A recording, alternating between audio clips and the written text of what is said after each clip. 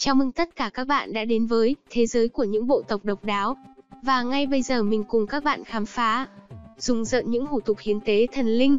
Trong khi đa số con người ngày nay đón năm mới bằng những bữa tiệc thịnh soạn hoặc lễ hội tưng bừng, thì tổ tiên loài người ngày xưa lại có những hình thức đón năm mới hoàn toàn khác lạ.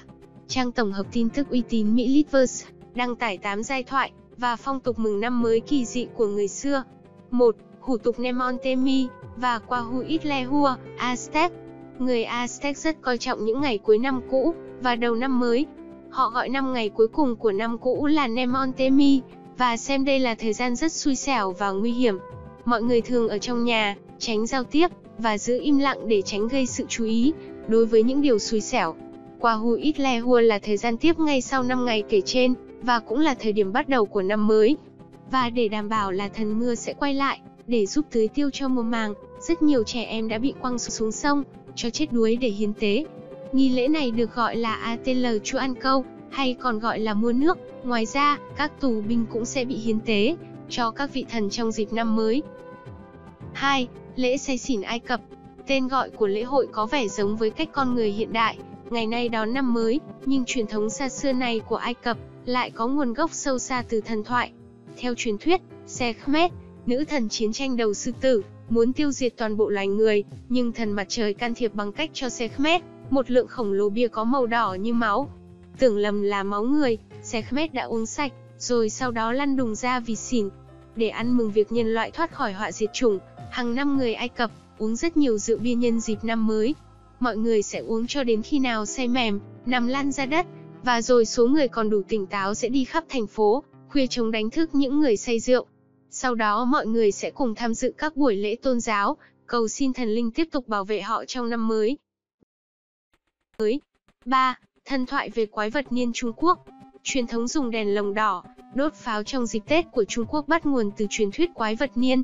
Chuyện kể rằng, tại Trung Quốc thời xưa, có một con quái vật có sừng sống dưới đáy biển, thường trồi lên vào đêm giao thừa để bắt gia súc và con người. Con quái vật này tên là Niên, tức năm. Vào đêm giao thừa, người dân thường phải chốt chặt cửa, hoặc chạy vào rừng núi để tránh con quái vật này. Một ngày nọ, một ông lão ăn xin dâu ria rậm rạp đến một ngôi làng vào đúng lúc người dân trong làng đang chuẩn bị vũ khí đối phó với Niên. Không ai ngó ngàng đến ông ngoại trừ một bà lão, bà này cho ông lão thức ăn. Ông lão ăn xin nói sẽ giúp dân làng thoát khỏi con quái vật nếu bà lão cho ông chú trong nhà bà vào đêm quái vật xuất hiện. Và bà lão đã đồng ý. Ông lão ăn xin sau đó đã trang trí đèn lồng đỏ và đèn cây khắp ngôi làng, rồi khi quái vật niên xuất hiện, ông cho đốt pháo. Hoảng sợ vì màu đỏ, lửa và âm thanh ầm ĩ, con quái vật chạy mất. Từ đó trở đi, người dân Trung Quốc có truyền thống treo đèn lồng và đốt pháo vào dịp Tết để ngăn con quái vật xuất hiện trở lại. Trở lại. 4. Lễ hội Janus La Mã Tên của tháng 1 trong tiếng Anh, January, được lấy từ Janus, tên của vị thần hai mặt trong thần thoại La Mã, một mặt nhìn đằng trước, mặt còn lại nhìn ra phía sau. Trong ngày đầu tiên của năm mới, người La Mã noi theo thần Janus, bằng cách dành chọn ngày này để nhìn lại thời gian đã qua, và hoạch định cho năm mới. Họ tin rằng những gì làm trong ngày đầu năm, sẽ có tác động trong suốt cả năm. Vì thế, đây là ngày để tặng quà, là thời điểm để tránh những ý nghĩ xấu xa, hoãn hoặc ngừng các vụ cãi vã, và nói chung là cố hòa nhã với mọi người.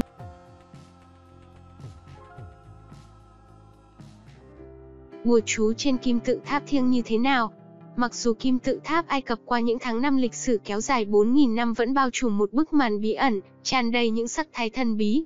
Trong đó những lời bùa chú trên bia mộ là khiến người ta kinh hãi nhất, bất cứ người nào đến quấy nhiễu sự yên ổn của Pharaoh thì cánh cửa tử thần sẽ giáng xuống đầu người đó. Những lời bùa chú tựa như thần thoại đó đã cảnh cáo trước cho những kẻ tham lam đời sau muốn nhòm ngó những báu vật vô giá trong mộ, đề phòng việc đào trộm mộ. Lạ thay, mấy thế kỷ nay, phàm những người dám cả gan đi vào trong hầm mộ Pharaoh, dù là kẻ trộm mộ, người mạo hiểm hay là các nhà khoa học, các nhân viên khảo sát, cuối cùng đều ứng nghiệm lời bùa chú, nếu không phải chết ngay tại chỗ thì cũng mắc phải chứng bệnh lạ không chữa được rồi chết trong đau đớn khổ cực. Minh chứng là vào tháng 11 năm 1922, nhà khảo cổ nổi tiếng nước Anh, ông Hovander Carter, sau 7 năm thăm dò tìm kiếm đã phát hiện và mở cửa lăng mộ Pharaoh Tutankhamun tại vùng thung lũng đế vương. Ông đã cho người đào được hơn 5.000 hiện vật châu báu, đồ trang sức, quần áo, binh khí, công nghệ phẩm, dụng cụ gia đình. Thành công đó đã làm chấn động thế giới. Nhưng vào ngày 18 tháng 2 năm sau, khi công việc khai quật đang đứng trước thắng lợi, huân tước Canafen, người đã đầu tư rất nhiều tiền của giúp Carter tiến hành công việc, đi vào trong hầm mộ thì bỗng nhiên sau đó mắc bệnh nặng, rồi qua đời. Chị gái của ông ta, trong hồi ký đã viết rằng, trước lúc chết, ông bị sốt cao và luôn miệng kêu gào, tôi đã nghe tiếng thở của nó, tôi phải cùng đi với nó đây. Cách đó không lâu sau, một nhà khảo cổ khác, ngài Moser trong khi khai quật đã giúp đẩy đổ bức tường đá chủ yếu trên đường vào hầm mộ cũng qua đời vì mắc phải một chứng bệnh lạ giống như thần kinh rối loạn. Đa Aklat, một chuyên gia chiếu chụp X-quang cho xác ướp Pharaoh, không bao lâu cũng trở thành vật hy sinh cho các lăng mộ Pharaoh, ông ta ngày càng suy nhược và qua đời. Trong 2 năm sau khi khai quật lăng mộ đó, có tới 22 người trong đội khai quật chết một cách bí ẩn, một cách bí ẩn, không rõ nguyên nhân. Từ đó tin tức về việc Pharaoh làm chết người lan truyền khắp nơi. Lời bùa chú trên bia mộ càng khiến người tin là có thật và số khác lại phân vân không biết có đúng không. Năm 1924, nhà sinh vật học người Ai Cập quốc tịch Anh có tên gọi Whiter đã đưa theo một số người hiếu kỳ đi vào hầm mộ. Điều khiến người ta khiếp sợ là, sau khi vào tham quan về, ông ta liền treo cổ tự tử. Trước lúc chết, ông cắn đầu ngón tay lấy máu viết thư để lại nói rằng, cái chết của ông ta là do bùa chú của lăng mộ Pharaoh tạo ra và vì bản thân rất hối hận nên ông phải ôm lòng ân hận ấy đi gặp Thượng Đế. Điều khiến người ta kinh ngạc và khó hiểu hơn nữa là cái chết của giám đốc nhà bảo tàng Cairo, ông Khamin Meyer Lyrer. Xưa nay Khamin không hề tin lời bùa chú của lăng mộ Pharaoh lại có thể linh nghiệm. Ông ta nói, cả đời tôi đã từng nhiều năm giao thiệp với xác ướp và lăng mộ cổ Ai Cập. Chẳng phải tôi vẫn đang sống mạnh khỏe đấy ư? Thế nhưng sau khi nói lời đó chưa đầy 4 tuần, ông bỗng nhiên mắc bệnh và qua đời. Lúc đó ông chưa đầy 52 tuổi. Hơn nữa người ta còn phát hiện ra rằng, cùng ngày ông qua đời, trước lúc chết, ông vẫn chỉ huy một đội công nhân đóng gói một lô hiện vật quý giá, mà lô hiện vật đó được khai quật và thu lượm từ lăng mộ Pharaoh Tutankhamun.